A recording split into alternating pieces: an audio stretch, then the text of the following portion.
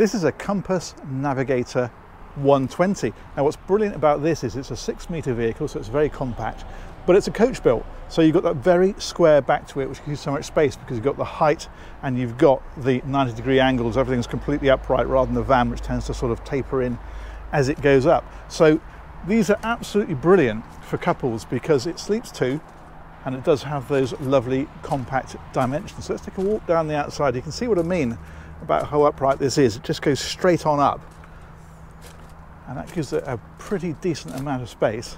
To come right back to the back. You've got mounting points to put a bike rack on if you want to. And if you come around onto this side then, you can see again just how much space that gives you. So it's quite a narrow vehicle and it's quite a short vehicle, so it's brilliant for tighter areas. But we'll head on inside and I will show you just how much space you get with this because it's pretty impressive. So let's come right on round. Now this one is based on a Peugeot, it's a 2.2 litre manual diesel engine and we access the body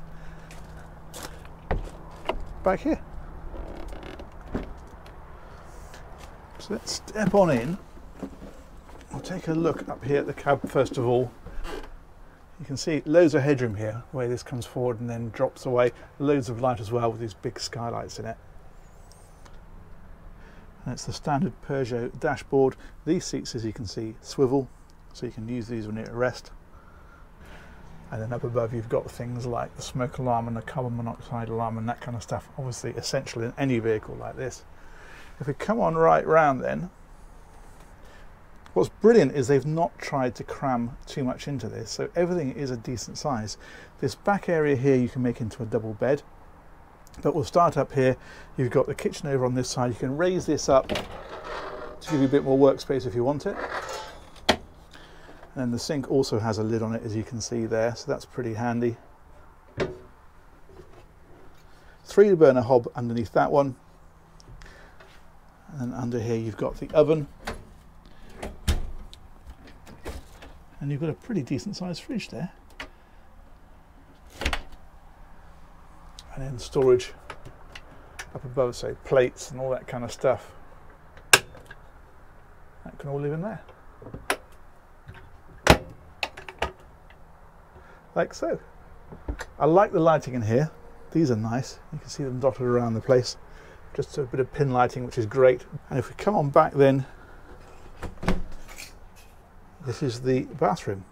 Again, for a six metre vehicle, really decent size. Shower in there as well, and a bit more storage tucked in behind there.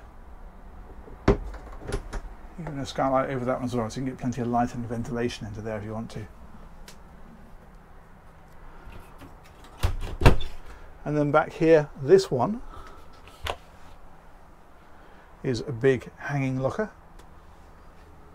And underneath that, we've got little lift up section there so again that augments the kitchen. And then that's all your circuit breakers and fuses and so on down underneath.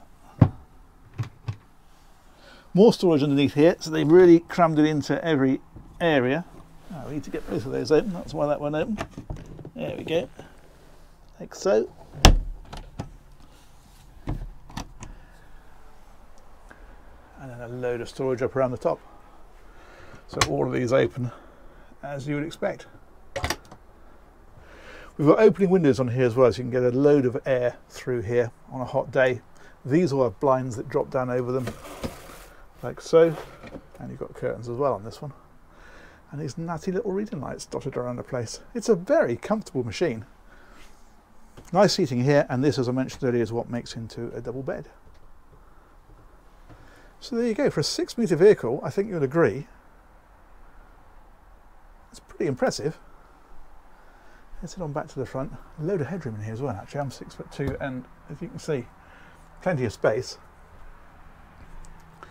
So there we go. Many thanks to Highbridge Motorhomes. They've organised this tour, and huge thanks as ever to you guys for watching. We'll catch you on another one of these very soon. Take care. Bye bye.